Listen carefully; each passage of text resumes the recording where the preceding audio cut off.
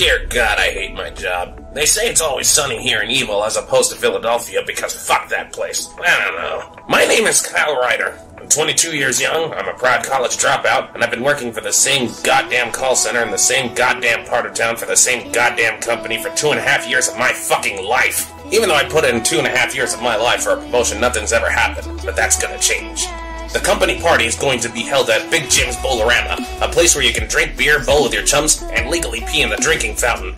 And that's where I'm going to hit it. I'm gonna seduce my supervisors and fuck my way to a promotion. I don't care if I have to sleep with Doki the Talking Donkey. I'm getting that promotion, goddammit. It's the American way, and if I don't do it, that smelly ass Hawaiian piece of shit will. It's business as usual here in Decker Industries where you get decked.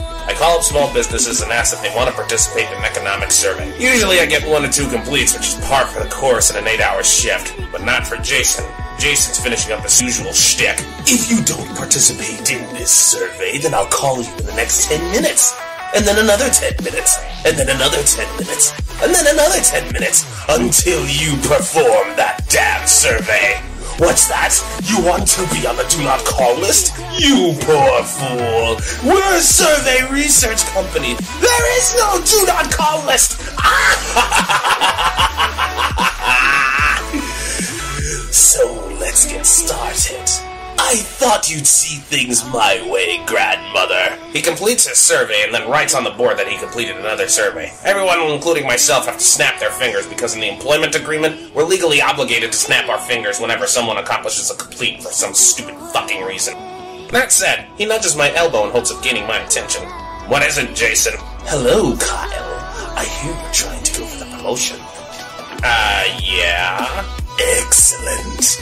Well then, I hope to see you get that promotion. Uh, no offense, Jason, but what the hell are you aiming for? Oh, don't worry, old chap. Uh, we're friends now? I'd like to think so, but I'd like to also think that I have a friend in a very high place, as you getting that promotion benefits me in the long run as well. Yes. Um, Jason, whenever you say yes like that, you have a boner, and I don't really. Can you. Can you please do something about that? Huh? Oh, sorry, my old chap, but I wanted to let you know that Keith is available. He got divorced, and on his Face of Friends profile, he wrote down on his current mood is sensual. Ah, uh, look, I may be bi-curious, but I'm not going after Keith, okay? I don't care how much cushion for the cushion he is. I'm not going after someone so fat that whenever I look at him, in the back of my mind, I just go, that's no moon. Well, I suggest you do something about it, old chap. David is doing something about that. David? David has already invited Keith out for dinner. Kalahiki Ali'i? That fucking Hawaiian? The asshole who likes showing off his nipples? That motherfucker! Everyone looks at me in shock and awe. The fuck are you all looking at? Looks like someone's got a bad case of the Mondays. I unplug my mouse and peg that son of a bitch right between the eyes. Fucking idiot. How dare he antagonize me? After that, I hear a familiar voice. Whoa, Jesus, calm down there, cowboy. Oh, hey, Jeff. Jeff is my best friend and close confidant. We went to college together. In fact, it was Jeff that got me this god awful job to begin with. Like me, he's also sick of working in this dead end job. We've been working together on this million dollar app that revolutionizes the way you look at pornography. He hands me my mouse, and I say, Thanks, partner in crime. Anytime, old friend. How you feeling, Jeff? Uh, I'm a little blocked. You're blocked? Are you constipated? I told you eating those gas station bananas wasn't a good idea. They look so delicious. Delicious? One of them had a bruise so big that you could mistake it for a fucking glory hole.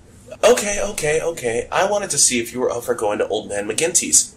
Wait, what now? Dude, I still have like another hour and a half on my shift before I can take a break. no one's gonna care. Barry will. And what's Barry gonna do? Dude, the company security, they're gonna send automated combat bot dudes after us. So what? You got your gun, right? I got mine. Yeah, I always have mine. So? I'll just botch the record saying that the combat dudes were acting out of, I don't know, uh, self awareness. Yeah, alright, I guess I can buy that for a dollar. Today's dead as shit anyway. Jeff warns me that the silent alarm goes off. I should start preparing for some combat bots and Dinklebot dudes. Start. Start!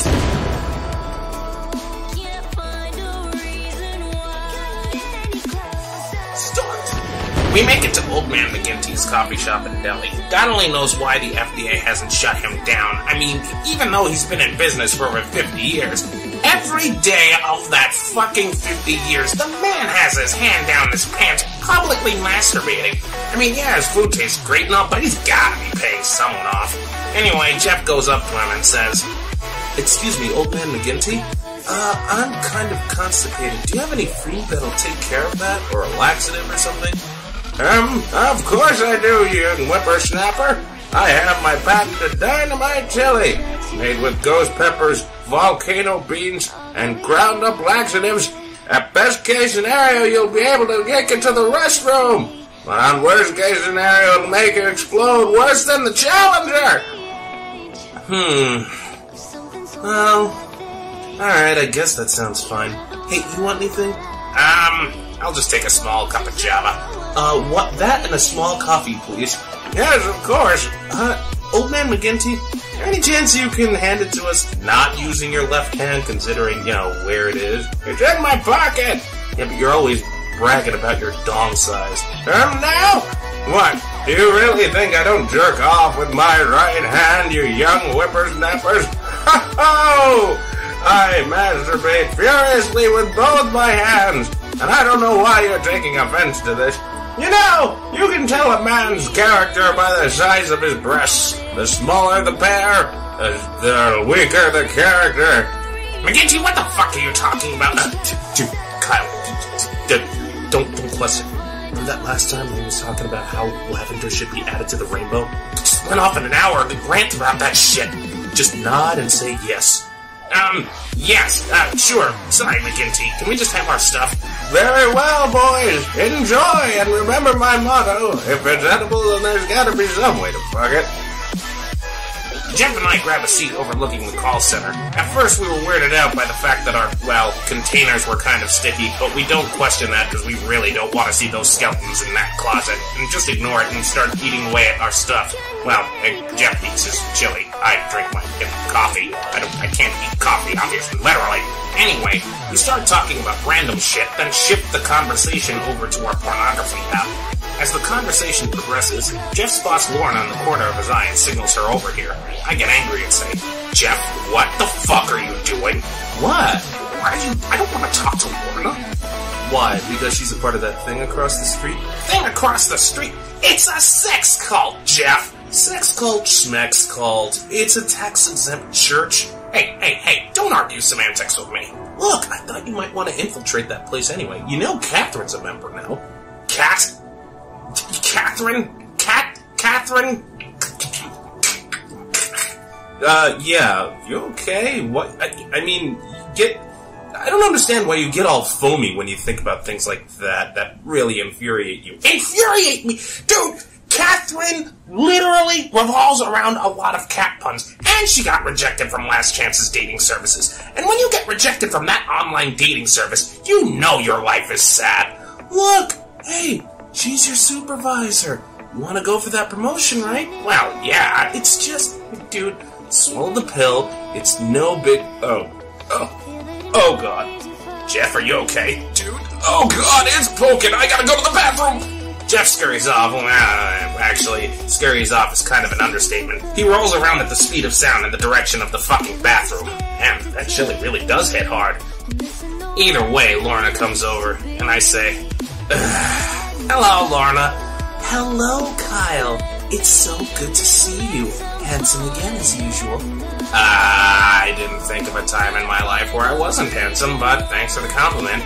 Lorna's always had a crush on me. To be honest, I kinda did too, up until she became part of that sex cult thing across the street. I mean, for God's sakes, they literally have a commandment where you have to wear sandals and socks when you enter the bed temple. Whatever the fuck that is. Uh, so, uh, how is everything? Fantastic. Thank you for asking, Kyle. Did you hear? We recruited Catherine. Oh, yeah. Bet she's, uh, driving you crazy with all those cat puns. Oh, quite the contrary, Kyle. Really? Yeah, you see, we're making her soft kitty purr, purr, purr. I see. Well, um, that's, uh, nice, I guess. Thank you. You should join us, you know. We're having our introductory Nooner orgy tomorrow at noon. Um, obviously, I mean, you did say it was a nooner. Don't interrupt me, sorry. And you should come along. We have a free buffet of all-you-can-eat chicken from Mother Clucker.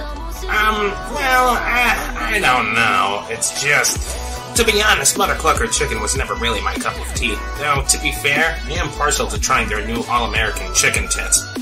Know. I heard. I know your favorite food is the TF2 sub from Sub which is why I secured a two-foot long sub just for you. Oh, gee, thanks, Lorna. That's really nice of you.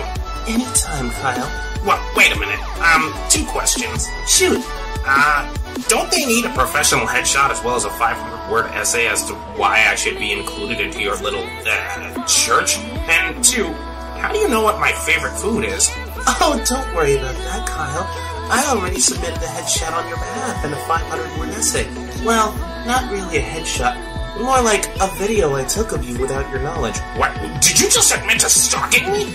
As much as I'd like to answer that question and the other one, Kyle, it looks like my pager's going off.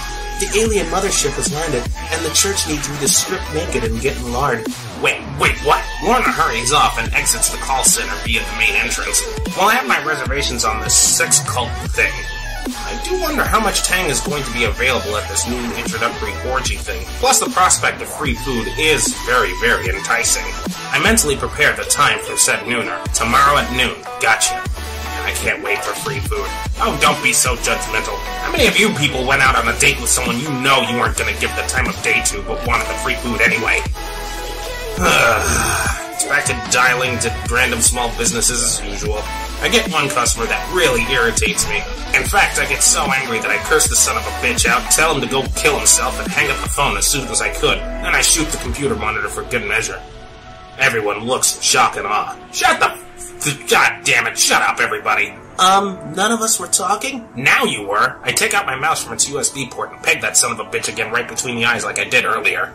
But then, the call center goes silent. I hear footsteps. Oh, Christ. It's one of my six bosses. It's Barry. Barry Whitaker is one of my six bosses. He just loves to show off his authority even though he brings nothing good to the table and is a total fucking bore. Hey, Kevin. Uh, my name's Kyle Barry. Just like it was yesterday. Just like it was two weeks ago. Just like it was the first day that I got hired two and a half years ago. Um, yeah, okay there, Kevin. We have, uh, something to talk about here. You see, uh, destruction of company property is one thing, but, uh, cursing out a potential client, that's crossing the line there. Looks like, uh, you need to, uh, go back for, uh, retraining. How's that sound? Are you are you fucking serious? Dude, I have I have a lot of seniority over these fucking idiots. I'm not a fucking idiot, and you threw your mouse at me again, jerk. You fuck. Foaming out the mouth there. Yeah, it's a classic sign of worker's rage. Looks like we got a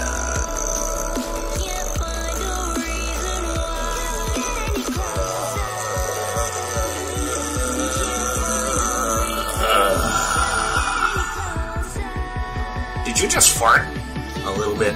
We gotta curb that rage, so come with me to the training room. Ah, fucking course. I've been led into the training room. Dear God, I never thought I'd see this place again. I mean, I've been working here for two and a half years of my fucking life.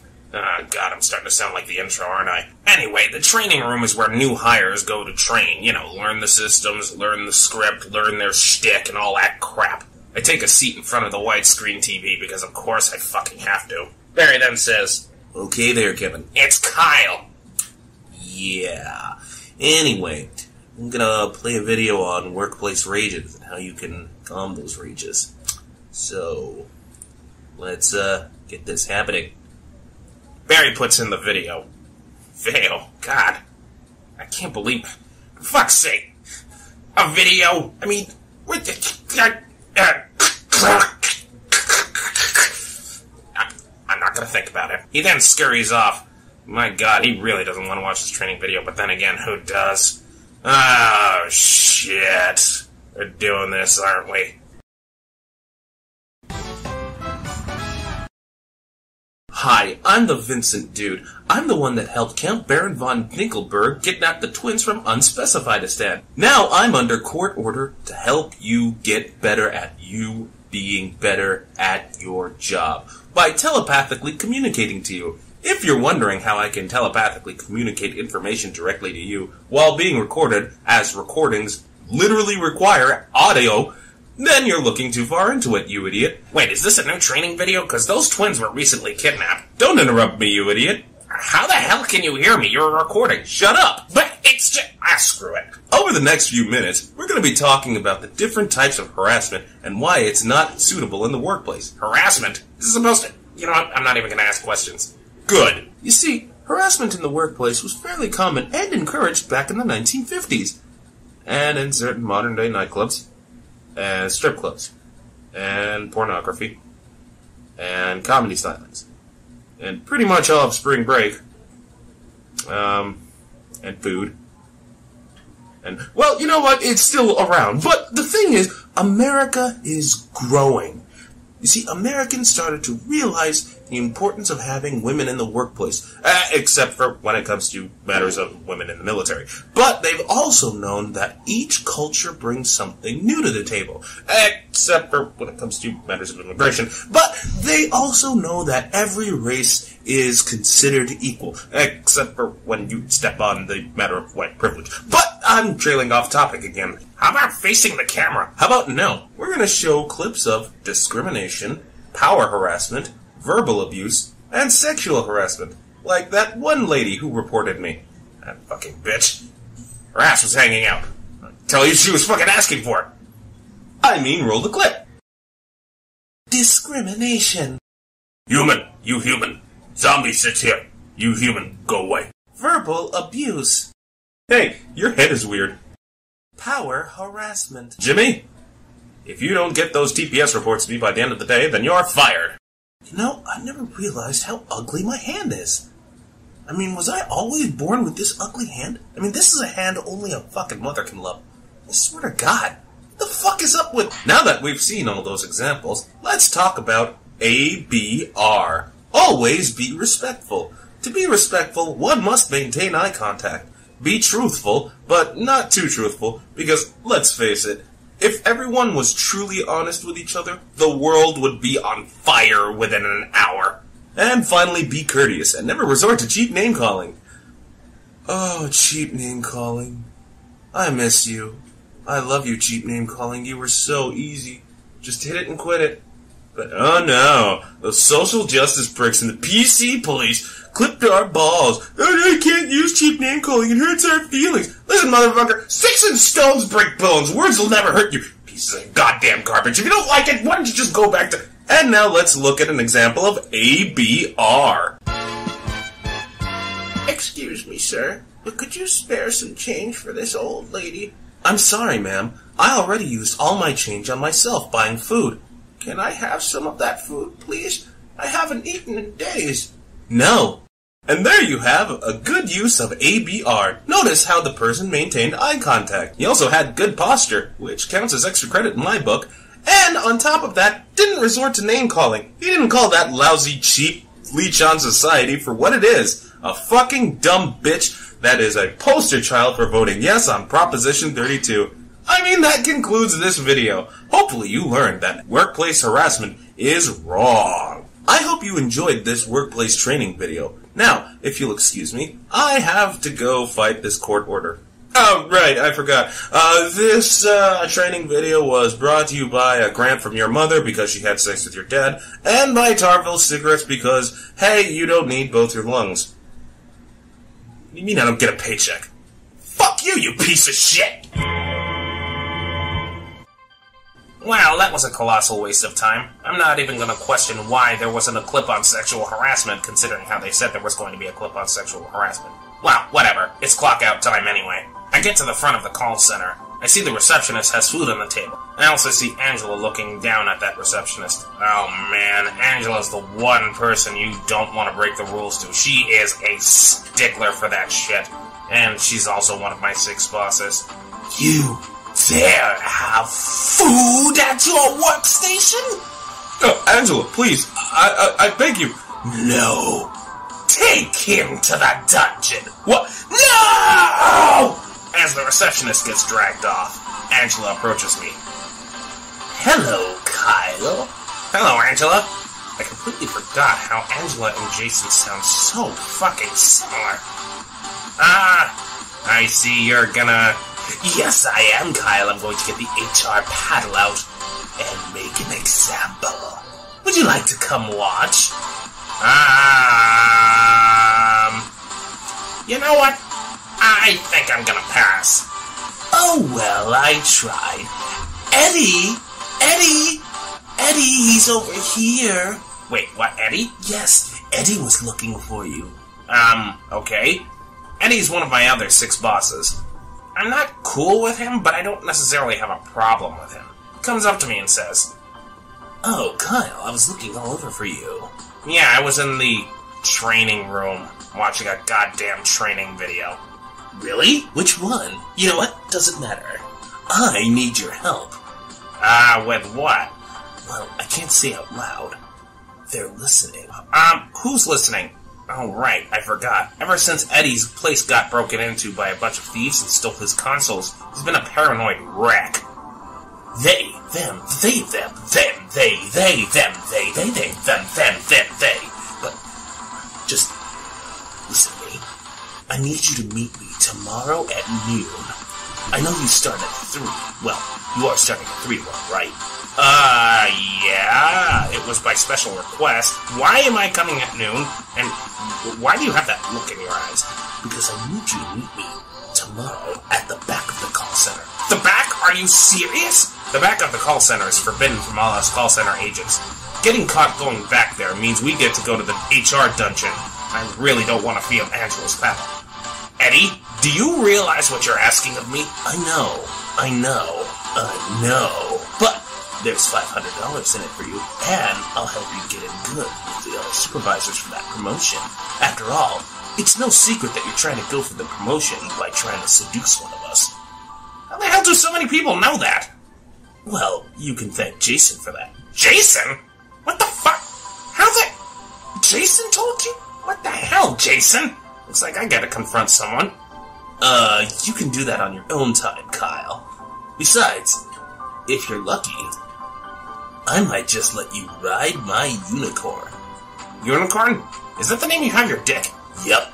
Well, uh, to be fair, I am kind of bi-curious. And Eddie's slender frame is, uh, kind of... Nah, I could, I could go with that. I, I don't know, Eddie. The choice is yours, Kyle. Just make sure they don't find out about your choice. Um, you don't need to worry about that, Eddie. Eddie hurries off and gets into the ventilation system because, of course, he fucking does. Shit. Decisions, decisions, though. On one end, I go to the fucking sex cult, organized by a goddamn stalker, and talk to the most annoying woman on the planet with the dumbest cat puns, or I risk getting caught by HR helping someone so paranoid that you might mistake him for a right-wing conspiracy theorist. God damn it. Well, at least I can debate my options by sleeping on it. Uh, I head home for the day. End of day one.